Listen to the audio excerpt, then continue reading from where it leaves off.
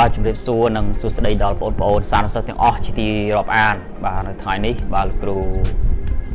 វិលមកជួបជាមួយនឹងបងប្អូន ជាថ្មីម្ដងទៀតតាមរយៈអប្រធានបទមួយ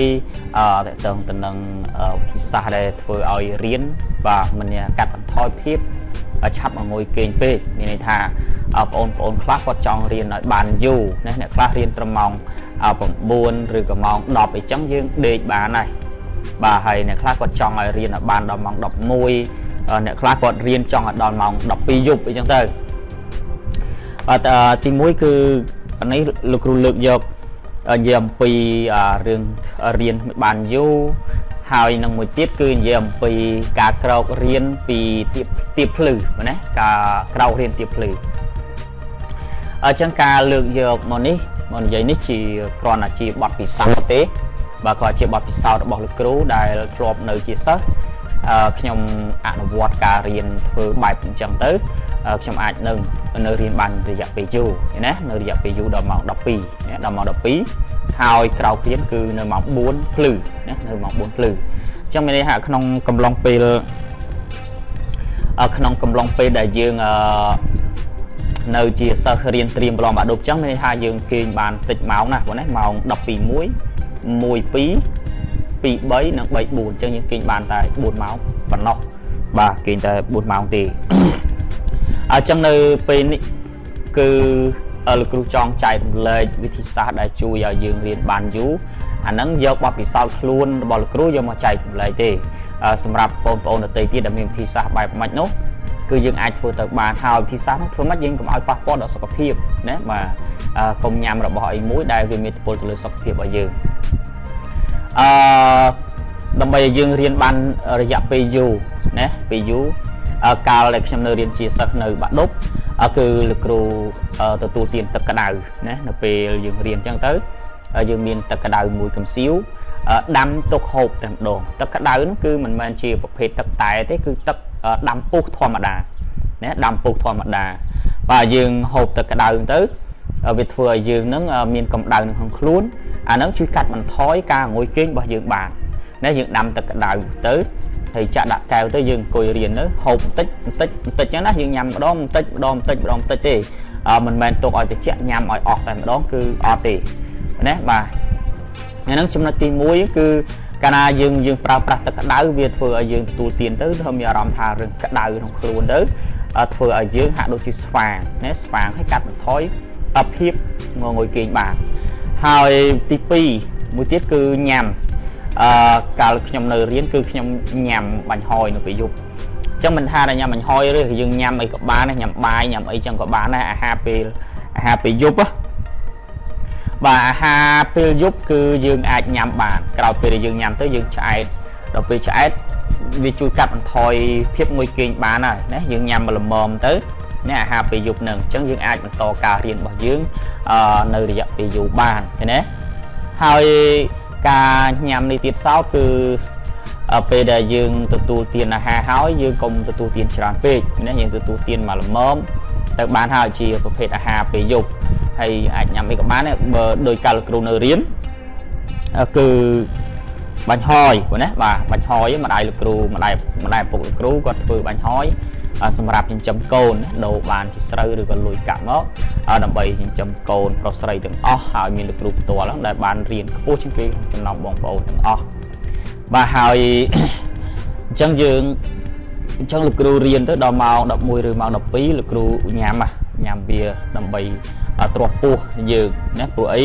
ជាធម្មតាអ្នកធ្វើការនិងអ្នករៀនមិនសូវខុសគ្នាប្រហែលទេហើយយើងអង្គុយរៀនយូរគឺធ្វើឲ្យយើងឆាប់ហែវហត់ហើយអស់កម្លាំងណាស់ព្រោះខួរក្បាលរបស់យើងប្រើប្រាស់ធម៌ពលច្រើនលើការគិតចឹងហើយប្រសិនបើយើងទទួលទានអាហារមិនបានគ្រប់គ្រាន់ធ្វើឲ្យខួរក្បាលយើងវាមានភាពនឿយហត់យើងឆាប់ដេកបាទហើយក្រៅពីហ្នឹងគឺយើងសម្រាកណាយើងរៀនហើយយើងសម្រាកហើយ4 5នាទីទៅយើង តម្រពុតដៃពុតខ្លួនអីចឹងទៅណាបាទយើងដើរអីបន្តិច5នាទីឬក៏10នាទីហើយចាំយើងចូលមករៀនវិញនេះហ្នឹងការសម្រាប់បួ5នាទីទៅ10នាទីហ្នឹងគឺវាធ្វើឲ្យខួរក្បាលរបស់យើងក៏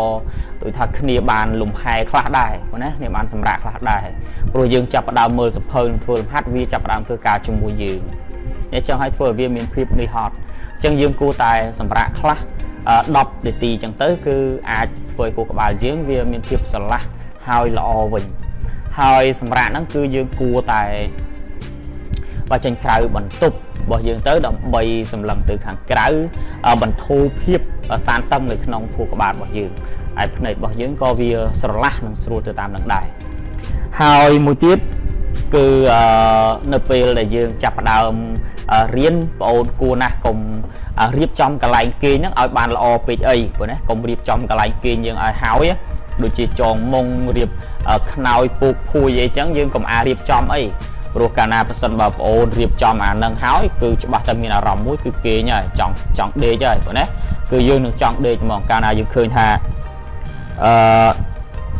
យើងចងមុងយើងចងអីហើយក្រាលដាក់កម្រាលពុកកម្រាលអីភួយស្អាតបាត់ហើយគឺយើងនឹងមានអារម្មណ៍មួយគឺចង់ដេកតែម្ដងណាដោយសារឃើញកន្លែង យើងវាទំនងនឹងគួរចង់ដេកចង់ឲ្យធ្វើឲ្យយើងចង់ដេកបាទហើយចំណុចទីមួយទៀតគឺអឺទៅលើសម្ភារៈអេឡិចត្រូនិកទូរស័ព្ទដៃអីចឹងបាទយើងគួរតែអឺសម្រាប់លេងវាទៅណាប្រើផ្សិនបើវាមិនចាំបាច់ណាបើសិនតែចាំបាច់ចាំយើងយកមកប្រើហើយបើយើងមិន ចាំបាច់ទេយើងបិទឡាញចោលទៅបិទអ៊ីនធឺណិតអីចឹងទៅកុំឲ្យមានសូរសំឡេងរំខានដូចជា mistake ឆាតអីចឹងណាបាទ messenger ឆាតតាម messenger វាលឺសូរសំឡេងក៏ធ្វើឲ្យយើងបាទមានអារម្មណ៍មិនល្អដែរឃើញទេបាទហើយចំណុចមួយទៀតពេលរៀនបងអូនគួរតែអង្គុយណាយើងគួរតែមានតុកអីចឹងទៅដល់មានតុកមានអីមកមកល្មមទៅហើយយើងអង្គុយរៀនវិញណា អង្គុយមានកៅអីមានអីអង្គុយឲ្យបានត្រឹមត្រូវនេះអាហ្នឹងក៏ធ្វើឲ្យយើងអាចអង្គុយបានអង្គុយរៀនបានយូរដែរប្រសិនបើយើងអង្គុយរៀនលើកតេលធម្មតាឬក៏លើពូកអីដេកអានសិភៅអីអាហ្នឹងគឺมันដំណើរការបានល្អទេបាទណាហើយគួរជិះវៀងទម្លាប់ដេកអានសិភៅតែម្ដងទៅព្រោះទម្លាប់ដេកអានសិភៅ គឺវាមិនមានប្រសិទ្ធភាពទេអាហ្នឹងបានតែជាលក្ខណៈកំសាន្តគាត់ជាលក្ខណៈដេកលេងមើលសិភៅលេងអីពេលទំនេរអាហ្នឹងយើងធ្វើបានប៉ុន្តែយើងរៀនដើម្បីឲ្យវាច្បាស់លាស់ដើម្បីឲ្យវាមានភាពប្រកបវិជ្ជាណាហើយអាចធ្វើលំហាត់ធ្វើអីកើតយើងគួរតែមានកៅអីហើយនឹងតុកមួយទៅយើងអង្គុយរៀនទៅណាបាទហ្នឹងគឺជួយឲ្យយើងហ្នឹងអាចរៀនបានយូរហើយមិនងាយមិនងាយងុយគេងទេអញ្ចឹងគឺនេះជាចំណុចមួយចំនួន ដែលលោកគ្រូចែករំលែកដល់បងប្អូនទាំងអស់គ្នាណាបាទធ្វើម៉េចឲ្យរៀនបានយូរនៅពេលយប់ហ្នឹងហើយហើយមួយទៀតគឺនិយាយអំពីការដែលយើងឡើងរៀននៅទៀបភ្លឺម៉ោង4ណាម៉ោង4លោកគ្រូទទួលស្គាល់ថាវាជាពេលមួយដែលយើងត្រូវការដេកប៉ុន្តែប្រសិនបើបងអូនតាំងចិត្តការក្រោកម៉ោង4នេះគឺជារឿងមួយល្អណាស់ទី1វាធ្វើទីចំណុច សំខាន់ដែលគ្រូចង់ឲ្យក្រោកនោះគឺដោយសារពេលព្រឹកវាថាទី1គឺខួរក្បាលរបស់យើងវាបានសម្រាកពេញមួយយប់ទៅហើយណាបានសម្រាកពេញមួយយប់ហើយសម្រាកនៅពេលដេកហ្នឹង4ម៉ោងគឺយើងបានសម្រាកហើយអញ្ចឹងហើយពេលយើងចាប់ផ្ដើមអានសភៅទៅគឺវាទទួលយកបានវាជាវាជាប្រភេទព័ត៌មានថ្មីមុនគេសម្រាប់ថ្ងៃហ្នឹងអញ្ចឹងយើងអានសភៅអានអីចឹងទៅឬក៏រៀនអង់គ្លេសរៀបភ្លឺឬក៏អានមេរៀនប្រភេទទន្ទិញសំណួរចម្លើយចឹងទៅ ធ្វើឲ្យខួរក្បាលយើងទទួលបានចំណេះនឹងចំណេះដឹងនឹងល្អហើយដោយសារអីដោយសារវាជាព័ត៌មានដំបូងសម្រាប់ព្រឹកថ្ងៃហ្នឹងណាព្រោះយើងក្រោកពីគេងផ្លែតយើងអត់ទាន់ធ្វើអីទេឃើញណាបាទយើងអត់ទាន់ធ្វើការងារអ្វីទេអញ្ចឹងហើយយើងអាចមើលសភៅទៅព័ត៌មានដំបូងហ្នឹងចូលក្នុងខួរក្បាលយើងបានល្អហើយតែអ្នកខ្លះគាត់ក្រោកពីគេងដែរអឺ ប៉ុន្តែដូចថាគាត់ធ្វើគាត់មើលសភៅមើលអីហ្នឹងអត់បានទេអញ្ចឹងកាលណាមើលសភៅអ្នកខ្លះបើកភ្នែករួចទេណាបាទគឺក្រោកមិនរួចចឹងហើយពេលនឹងយើងទៀមទាមានការតាំងចិត្តទៅលើការក្រោកពីគេងនៅពេលអឺពេលម៉ោង4ហើយក្រោករៀនហ្នឹងហើយបើយើងក្រោកមិនរួចទេបងណាយើងអាចលុបមុខអីទៅយកខ្សែងជលុកទឹកជលុកអីទៅយើងជូតជូតមុខយើងបន្តិចទៅគឺយើងនឹងមានអារម្មណ៍ថាស្រួលខ្លួនវិញហើយណាយើងស្រួលខ្លួនបន្តិចយើងអាចរៀនបានអឺ ការអនុវត្តធ្វើដំបូងក្នុងសប្តាហ៍ដំបូងលោកគ្រូទៅជឿថាយើងមិនទាន់ធ្វើទៅបានទេប៉ុន្តែប្រសិនបើបងប្អូនទាំងអស់គ្នាព្យាយាមយើងនឹងធ្វើវាបាន ត្រឹមតែរយៈពេល1ឆ្នាំទេណារយៈពេល1ឆ្នាំហ្នឹងបើសិនបើយើងអនុវត្តធ្វើទៅយើងនឹងរៀនហ្នឹងបានជោគជ័យល្អណាបានជោគជ័យល្អបាទអញ្ចឹងហើយការក្រោករៀនពេលព្រឹកគឺវាមានប្រយោជន៍ចំពោះប្រភេទសំណួរ គេហៅថាទុនទិញណាប្រភេទសំណួរទុនទិញឬក៏ជាប្រភេទសំណួរចម្លើយដែលដូចជាជីវៈ